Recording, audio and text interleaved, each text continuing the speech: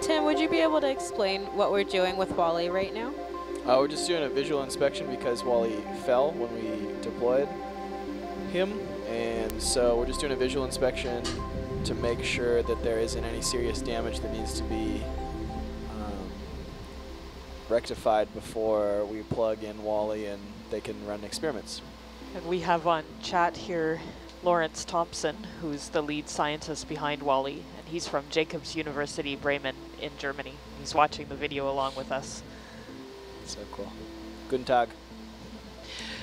so if you could just uh, come forward to see the instrument on the front, that laser scanning instrument from this perspective. Sure. So Lawrence has just commented, foam got a hit, otherwise okay. So yep. it looks like yeah, we have a, a, little thing. at least a visually a good health diagnosis for Wally. One of the big concerns with ROV operations is getting your ROV's tether entangled in other objects on the bottom, such as this big green tether that belongs to Wally the benthic crawler. Does Wally ever have to be, you know, tugging at the length, the full length of this cable, or?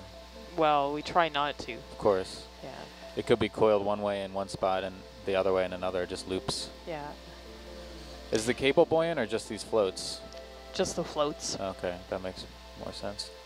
That connects them to the cabled oceanographic observatory known as Neptune here in Canada off the coast of Vancouver Island.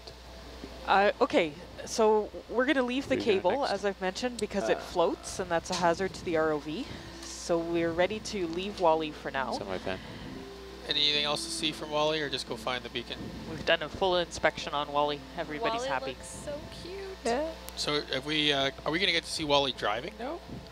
No. No. Oh. Not until a cable ship does its work. Oh, of course. so he walks on those little treads when he gets frisky, huh? and he's controlled from Germany? That's right. When, it, when yeah. the cables are all hooked up? Oh, you're right. You That's amazing.